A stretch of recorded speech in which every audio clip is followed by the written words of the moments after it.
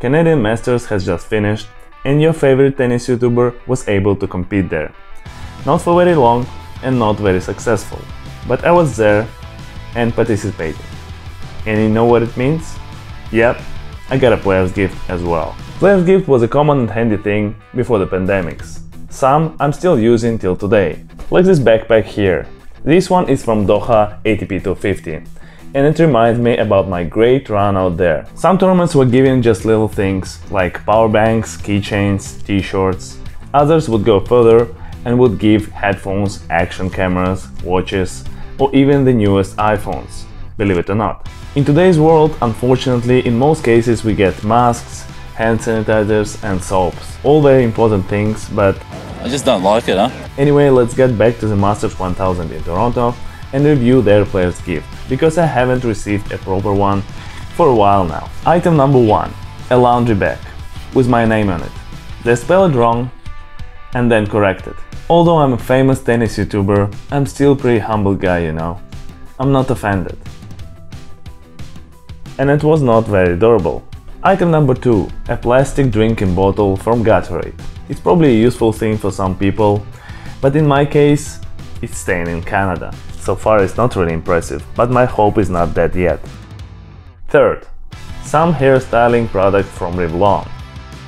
Fourth, another hair product, this time from American Crew. Very good, I really need those to take care of that fancy haircut. Oh, now it's getting interesting. Lindt chocolate box.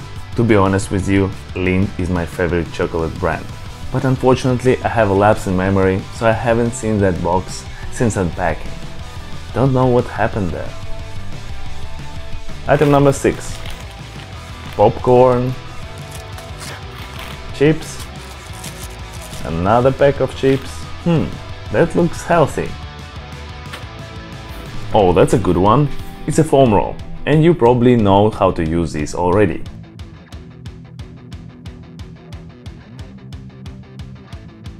But this is not just a regular roll you see every day. Let me show you one trick. It's a foldable foam roll. Want to unfold it? And that's it. It's ready to rock and roll. Can you believe it? Obviously not, because it's unbelievable. I won't be surprised if NASA has something to do with it, really. I'm impressed. I've never seen anything like this. But I was even more impressed with the next one. Nintendo Switch, ladies and gentlemen, and a game Mario Tennis Aces to get you started.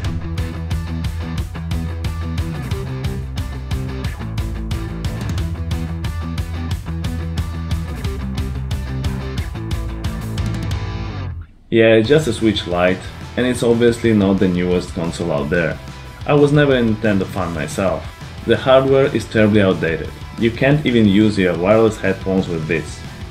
Games are very expensive, and if you know how to watch movies on this thing while on a plane, let me know in the comments.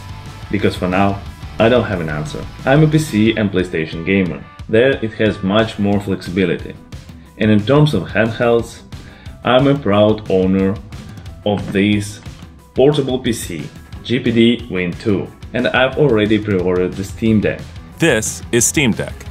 So I never took Nintendo Switch seriously and would never buy one myself. But as this one is free, I gave it a try out of curiosity. And I was wrong. This thing is amazing, even with all its flaws. I think I was missing out all this time. Battery life is great, ergonomics are fine for handheld, it's worth it just for Nintendo exclusives alone. I've been playing it for hours every single day since I got it. Thank you Tennis Canada. And to all other tournaments out there, you see how good Players Gift can be? It might be a small thing for you, but it can make our day.